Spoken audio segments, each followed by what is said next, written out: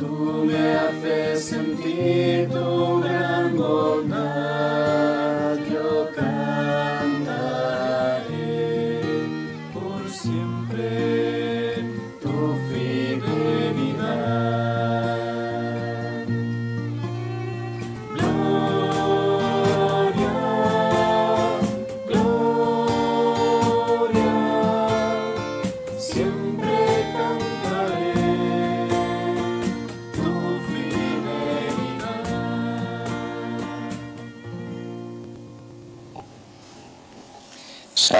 Madre Santa, Virgen Madre del Rey, que gobierna cielo y tierra por los siglos de los siglos. En el nombre del Padre, del Hijo y del Espíritu Santo. Amén. El Señor esté con todos y vosotros. con tu espíritu. Celebramos hoy, recordamos en esta celebración el aniversario de la dedicación de la Basílica de Santa María en Roma, la que llamamos Santa María la Mayor, construida en el monte Esquilino en el año 434, ofrecida, por el Papa Sixto III al pueblo de Dios como recuerdo del concilio de Éfeso, que fue justo antes, eh, donde se proclama el dogma de María como Madre de Dios. Esta basílica, la más antigua dedicada grande a la Virgen, en realidad, según toda la tradición, proviene de otra basílica que estaba justo en el mismo sitio antes que ella, la que se llamaba la Basílica Liberiana, el Papa Liberio, que según la tradición, un tal día como hoy de agosto, mm, nevó en Roma, justo en el monte Esquilino, donde en un sueño se le pidió al Papa y a un patricio pues que construyesen una iglesia en honor de la Virgen. Y así se hizo en ese siglo IV y unos cuantos años después sobre esta primera iglesia se construyó la gran iglesia de Santa María la Mayor, aunque después fue reconstruida otra vez en el siglo XVI. Empezamos la celebración reconociendo nuestros pecados, pidiendo perdón a Dios. Empezamos la celebración reconociendo nuestros pecados, pidiendo perdón a Dios. De nuestros pecados, Señor, ten piedad. Señor, ten piedad. De las infidelidades de los hijos de la Iglesia, Cristo, ten piedad. Cristo, ten piedad. De los pecados de todo el mundo, Señor, ten piedad. Señor, ten piedad. Que Dios Todopoderoso tenga misericordia de nosotros, perdone nuestros pecados y nos lleve a la vida eterna. Amén. Oremos. Perdona, Señor, los pecados de tus siervos y ya que no podemos complacerte con nuestras obras, concédenos la salvación por intercesión de la Madre de tu Hijo, nuestro Señor, que vive y reina contigo en la unidad del Espíritu Santo y es Dios por los siglos de los siglos. Amén.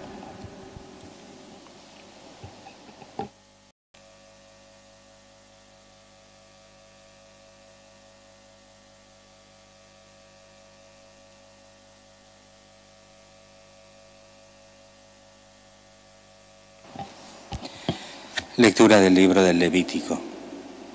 El Señor habló a Moisés en el monte Sinaí. Haz el cómputo de siete semanas de años. Siete veces siete, de modo que las siete semanas de años sumarán 49 años.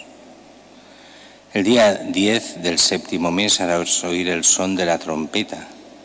El día de la expiación haréis resonar la trompeta por toda vuestra tierra. Declararéis santo el año 50 y promulgaréis por el país liberación para todos sus habitantes. Será para vosotros un jubileo, cada uno recobrará su propiedad y retornará a su familia. El año 50 será para vosotros año jubilar. No sembraréis ni segaréis los rebrotes, ni vendimiaréis las cepas no cultivadas, porque ese es el año jubilar que será sagrado para vosotros. Comeréis lo que den vuestros campos por sí mismos. En este año jubilar cada uno recobrará su propiedad. Si vendes o compras algo a tu prójimo, que nadie perjudique a su hermano. Lo que compres a tu prójimo se tasará según el número de años transcurridos después del jubileo. Él te lo cobrará según el número de cosechas restantes. Cuantos más años falten, más alto será el precio. Cuando menos, tanto menor será el precio, porque lo que Él te vende es el número de cosechas. Que nadie perjudique a su prójimo y teme a tu Dios, porque yo soy el Señor vuestro Dios. Palabra de Dios. Te alabamos. Oh Dios, que te alaben los pueblos, que todos los pueblos te alaben. Oh Dios, que te alaben los pueblos, que todos los pueblos te alaben. Que Dios tenga piedad y nos bendiga, ilumine su rostro sobre nosotros. Conozca la tierra tus caminos, todos los pueblos tu salvación. Oh Dios, que te alaben los pueblos, que todos los pueblos te alaben. Que canten de alegría las naciones, porque riges el mundo con justicia y gobiernas las naciones de la tierra. Oh Dios, que te alaben los pueblos, que todos los pueblos te alaben. La tierra ha dado, ha dado su fruto, nos bendice el Señor nuestro Dios. Que Dios nos bendiga, que le teman todos los confines de la tierra. Oh Dios, que te alaben los pueblos, que todos los pueblos. te alaben.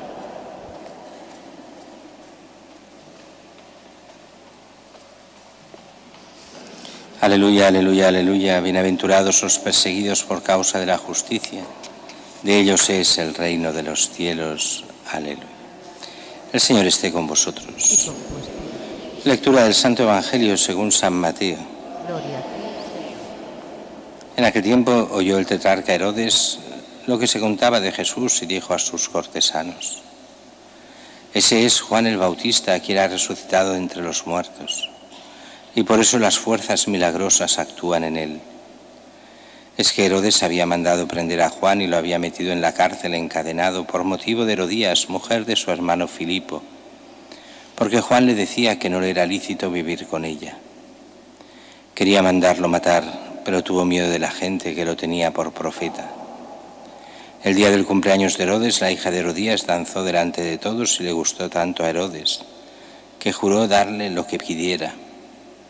Ella, instigada por su madre, le dijo, dame ahora mismo en una bandeja la cabeza de Juan el Bautista. El rey lo sintió, pero por el juramento y los invitados ordenó que se la dieran y mandó decapitar a Juan en la cárcel. Trajeron la cabeza en una bandeja, se la entregaron a la joven y ella se la llevó a su madre. Sus discípulos recogieron el cadáver, lo enterraron y fueron a contárselo a Jesús. Palabra del Señor. Señor Jesús. La primera lectura de hoy es una lectura que puede parecer extraña a los ojos de hoy. Es lo que llamaban el jubileo, pero estamos hablando no de los jubileos que se hacen en la iglesia, que al principio eran solo cada 50 años. Desde 1350 se hacía cada 50 años el jubileo, que era una forma, aquí los jubileos nuestros, los de la iglesia, de intentar acercar a Dios a la conversión, a dar todas las facilidades para que la gente se convierta y crezca en santidad. Y a veces funcionan, a veces no. Pero los jubileos del Antiguo Testamento es otra historia. Es cuando empieza el Estado de Israel, el primer Estado de Israel. Deciden hacer una especie de, de propiedad extraña, que es la propiedad familiar.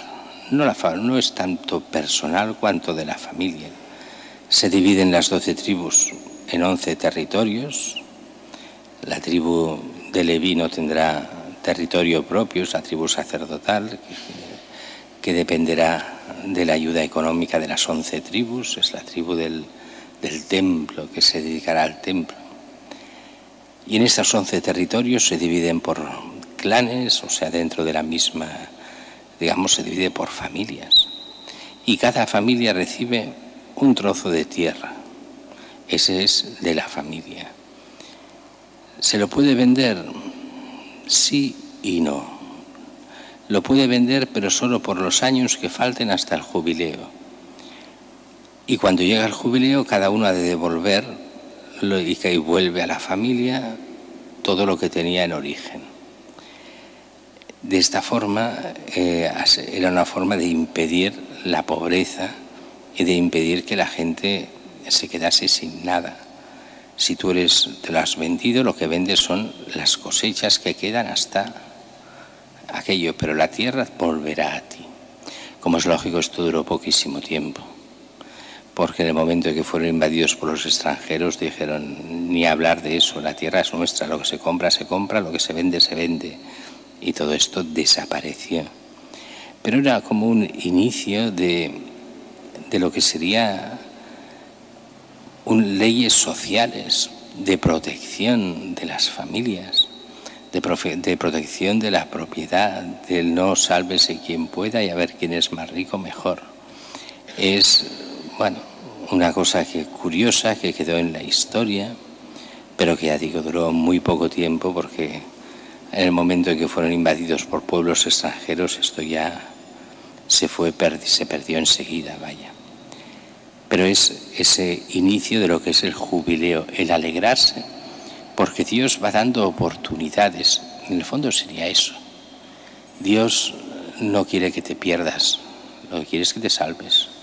Así que a nivel de propiedad, cada 50 años vuelve todo lo que se ha perdido en esos 50 años a la familia, pues a nivel personal Dios quiere también salvarte y por eso la Iglesia creó estos jubileos el jubileo de la redención, los jubileos, mil tipos de jubileos, para dar, darnos la gracia para que cada uno se pueda convertir, pueda llegar a Cristo, pueda llegar a ser santo. Y el Evangelio de hoy es un Evangelio, bueno, que lo hemos oído tantas y tantas veces. Juan Bautista, el tetrarca Herodes, que oye que hablar de Jesús, Herodes era un tipo supersticioso, superficial, un desastre. Tanto que Jesús, viendo su amaneramiento, su forma de ser, de un tipo que se ríe de todo, que no... Será de los pocos casos que cuando Jesús le pregunte ni se dignará responderle, oye, que soy el rey, ¿y qué? ¿Y qué que seas el rey? era un tipo absolutamente despreciable y además toda la familia de Herodes, desde Herodes el abuelo, Herodes el grande, hasta él, todo gente realmente desgraciada en todos los sentidos. Y entonces este, claro, estos desgraciados que no creen en nada, al final se creen cualquier cosa, como pasa en nuestra época igual. Los más desgraciados que dicen que son ateos después creen en las tonterías más pues él cree, oye hablar de Jesús, que este es Juan Bautista, que él lo hizo matar, que le hizo cortar la cabeza, que tuvo la cabeza delante, que se la dio a Herodías. Bueno, el caso es, ¿qué pasó allí? Pues pasa como con el pecado. En el fondo todo esto es una historia de pecado, la historia de Herodes y de Juan Bautista.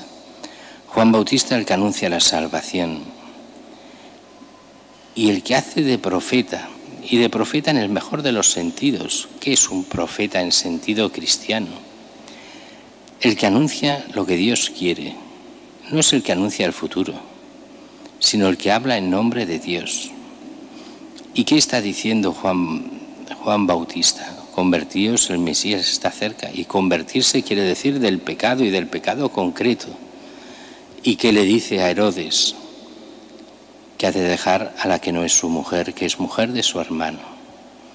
¿Quién se cree Juan Bautista que es?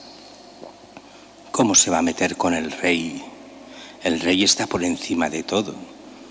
Eso los políticos de hoy están en el mismo nivel, se creen por encima de todo.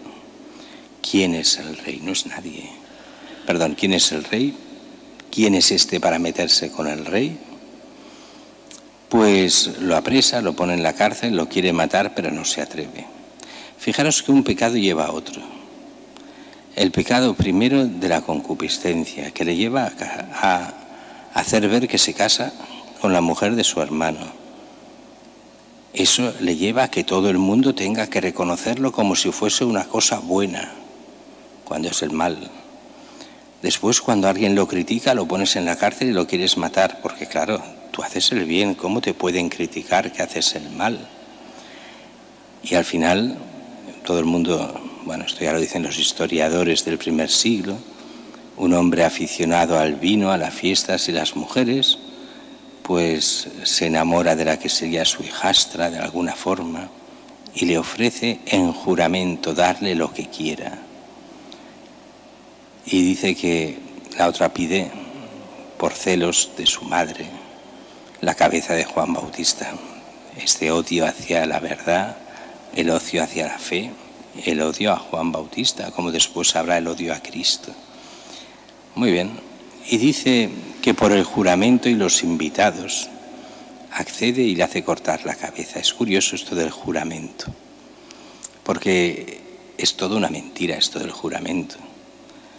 Si yo juro algo, ¿qué estoy haciendo? Primero que sabéis muy bien que Jesús nos dice que no juremos, decir sí cuando es sí, no cuando es no. Todo lo demás viene del maligno. Pero cuando uno jura está diciendo, en el fondo, que me condene, que Dios me condene si no estoy diciendo la verdad, si no se va a cumplir lo que yo he dicho. En el fondo es ponernos ante nuestra salvación y condenación.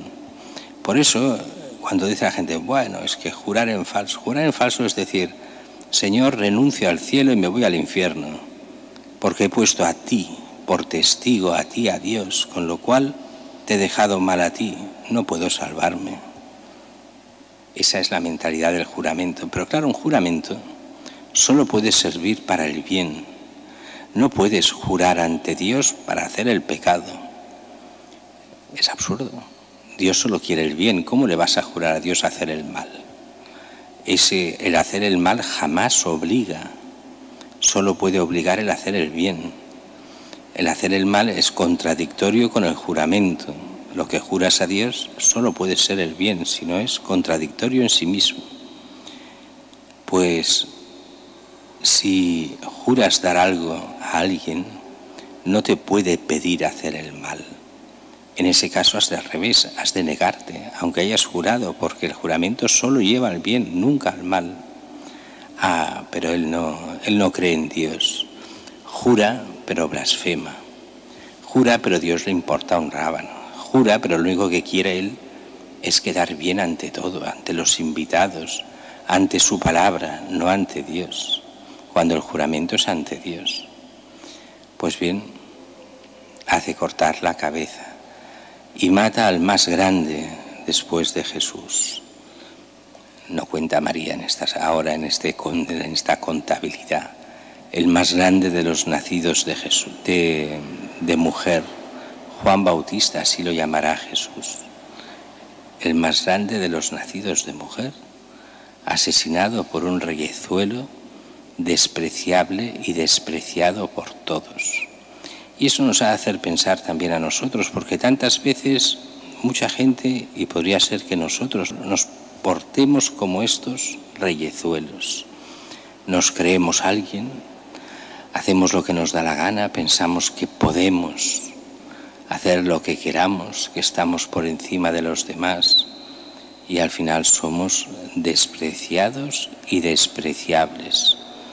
Y hemos de ir con mucho cuidado de que el que no nos desprecie sea nuestro Señor, de que vivamos realmente para Él, que nos demos cuenta de nuestro, del camino de santidad que Dios nos pide, porque al final lo único importante es salvarnos del pecado y de la muerte y vivir eternamente con Dios. En el fondo se cumple aquello que era el lema de San Ignacio de Loyola que hoy predicamos, que hoy celebramos. Ad maiorem Dei gloriam, que todo lo hagamos a mayor gloria de Dios. Y también decía él, haced todo como si todo dependiera solo de vosotros, pero sabiendo totalmente que solo depende de Dios. Él tenía claro que él era instrumento en manos de Dios para el bien del mundo, para el bien de la humanidad, para el bien de la Iglesia.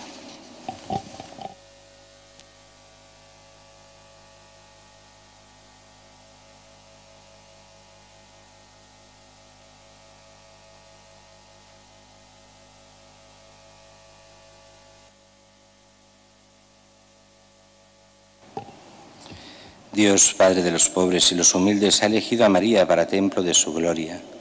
A Él dirigimos nuestra confiada oración. Por la Santa Iglesia, que acogiendo con humildad y fe el don de la salvación, sea cada vez más canal de gracia y de perdón para la humanidad, roguemos al Señor. Por todos los pueblos de la tierra, para que al compartir los bienes materiales, culturales y espirituales, descubran el camino de fraternidad que Dios quiere para nosotros, roguemos al Señor. Te rogamos, Dios. Por los más necesitados de nuestra sociedad, que reciban la ayuda y el calor por parte de quienes, como María, consagran su vida al servicio de los demás, roguemos al Señor. Te rogamos. Por todos nosotros, que el espíritu de gratitud y alabanza que brilló en la Virgen María nos haga fieles y agradecidos, tanto en los momentos de prueba como en los de alegría, roguemos al Señor. Te rogamos, oh Dios. Padre misericordioso, tú que conoces nuestro corazón, ven en ayuda de nuestra debilidad y por intercesión de María Virgen orante, escucha nuestras súplicas. Te lo pedimos por Jesucristo nuestro Señor. Amén.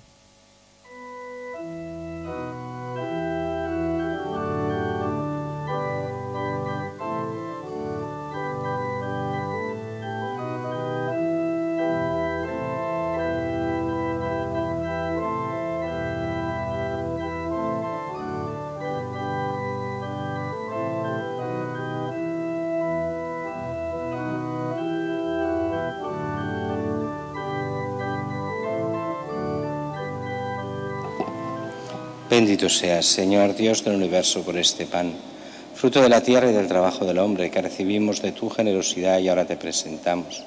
Él será para nosotros pan de vida.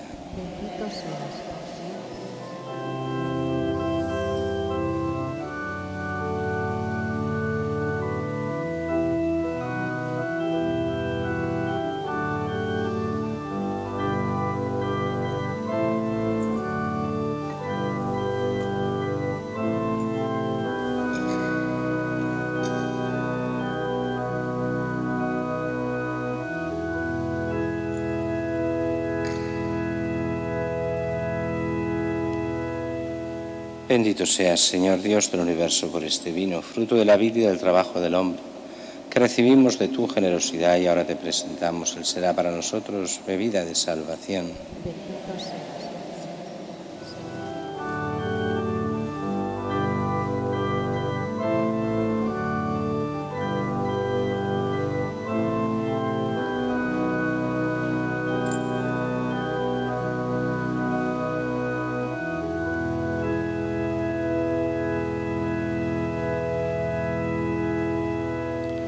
Orad, hermanos, para que este sacrificio mío y vuestro sea agradable a Dios Padre Todopoderoso. El Señor reciba de tus manos este sacrificio para la honra y gloria de su nombre, para nuestro bien y de todas sus alturas. Recibe, Señor, las oraciones de tu pueblo, junto con la ofrenda de este sacrificio, para que por la intercesión de Santa María, Madre de tu Hijo, no quede frustrado ningún buen deseo ni petición alguna sin respuesta. Por Jesucristo nuestro Señor. Amén. Señor esté con vosotros. Levantemos el corazón. Demos gracias al Señor nuestro Dios. Es justo y necesario. En verdad es justo darte gracias, Padre Santo, fuente de la vida y de la alegría, porque en esta etapa final de la historia has querido revelarnos el misterio escondido desde siglos, para que así el mundo entero retorne a la vida y recobre la esperanza. En Cristo, nuevo Adán, y en María, nueva Eva, se revela el misterio de tu Iglesia, como primicia de la humanidad redimida. Por este inefable don, la creación entera, con la fuerza del Espíritu Santo, emprende de nuevo su camino hacia la Pascua eterna. Por eso nosotros, unidos a los ángeles y a los santos, cantamos a una voz el himno de tu gloria, diciendo, Santo, Santo, Santo es el Señor, Dios del universo.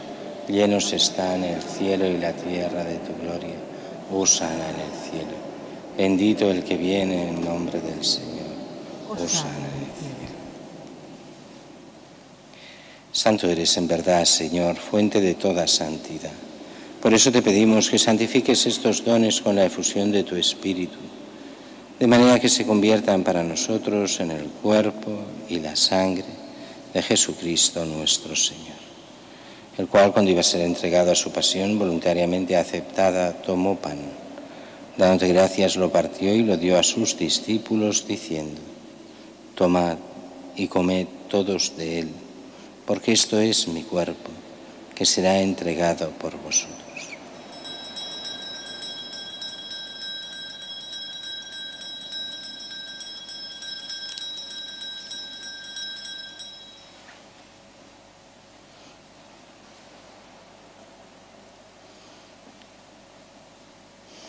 Del mismo modo, acabada la cena, tomó el cáliz y dándote gracias de nuevo, lo pasó a sus discípulos diciendo, Tomad y bebed todos de él, porque este es el cáliz de mi sangre, sangre de la alianza nueva y eterna, que será derramada por vosotros y por muchos para el perdón de los pecados.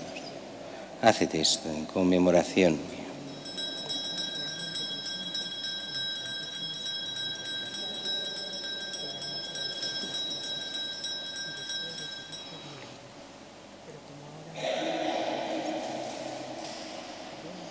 Este es el sacramento de nuestra fe.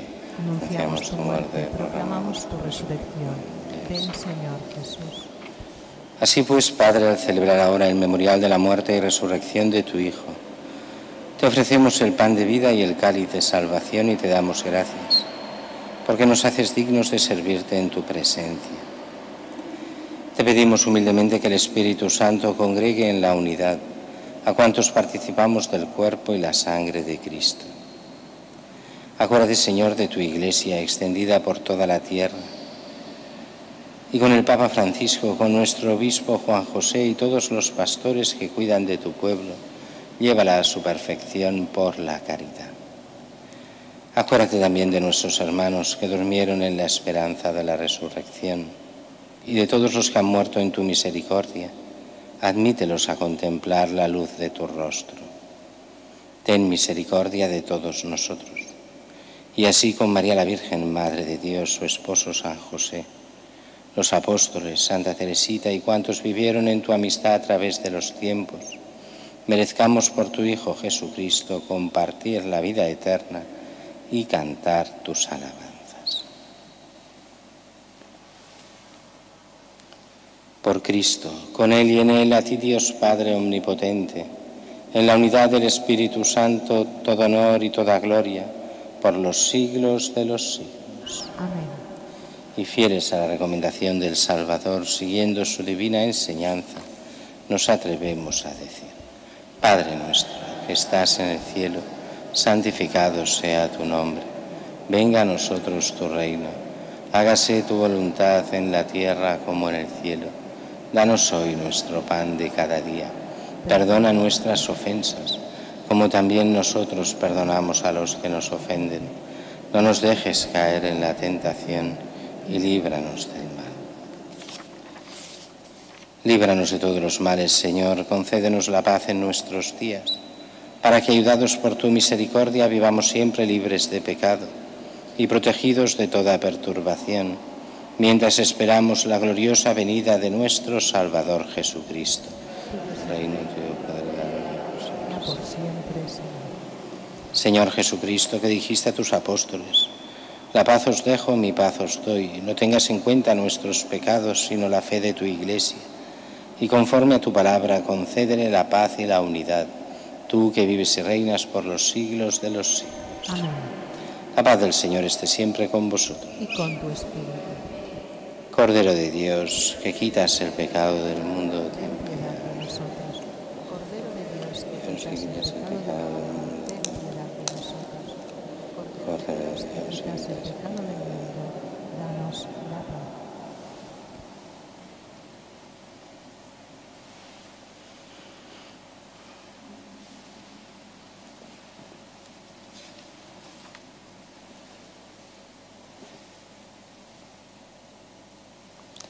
Este es el Cordero de Dios que quita el pecado del mundo. Dichosos los invitados a la cena del Señor. Señor, yo no soy digno de que entres en mi casa, pero una palabra tuya bastará para eso.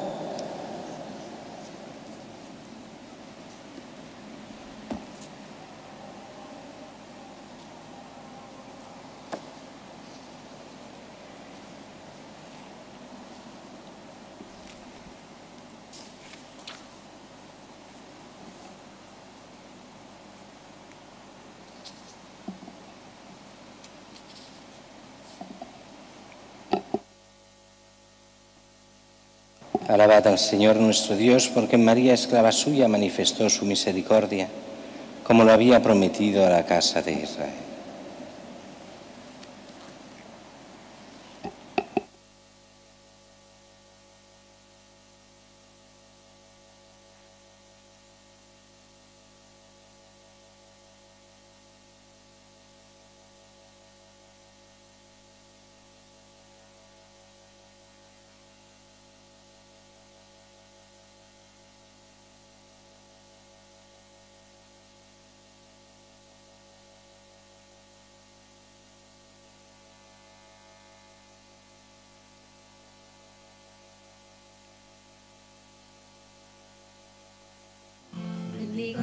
Al Señor, Dios de toda la creación, por habernos regalado su amor, su bondad y su perdón, y su gran fidelidad, por los siglos de los siglos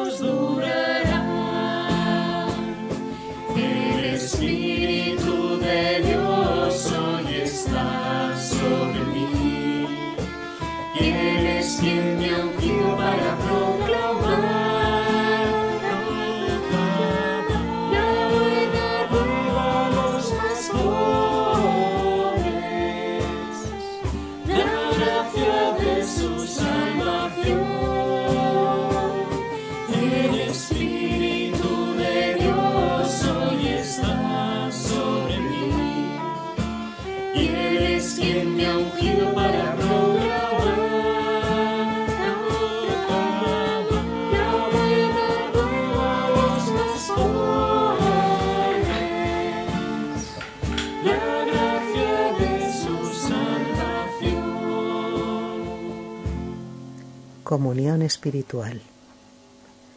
Creo, Jesús mío, que estás realmente presente en el Santísimo Sacramento del altar. Te amo sobre todas las cosas y deseo recibirte en mi alma, pero como ahora no puedo recibirte sacramentalmente, ven al menos espiritualmente a mi corazón. Como si ya te hubiese recibido, te abrazo y me uno del todo a ti. No permitas, Señor, que jamás me aparte de ti. Amén.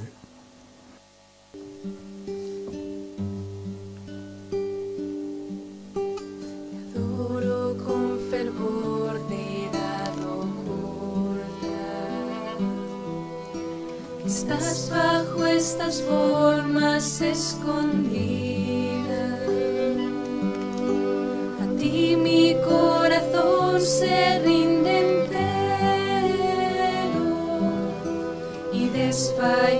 desfallece todo si te mira. Se engaña en ti la vista, el tacto, el gusto. Mas tu palabra engendra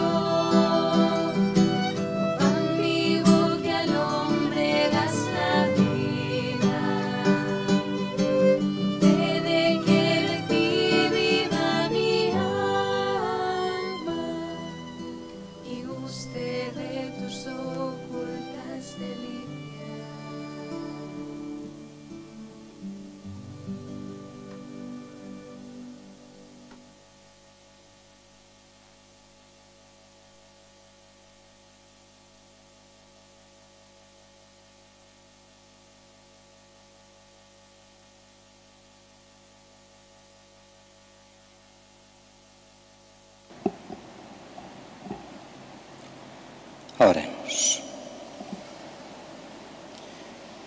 Al recibir estos sacramentos del cielo, imploramos de tu misericordia, Señor, que cuantos nos alegramos en la memoria de la bienaventurada Virgen María, consigamos colaborar a imitación suya en el misterio de nuestra redención. Por Jesucristo nuestro Señor. Señor esté con vosotros.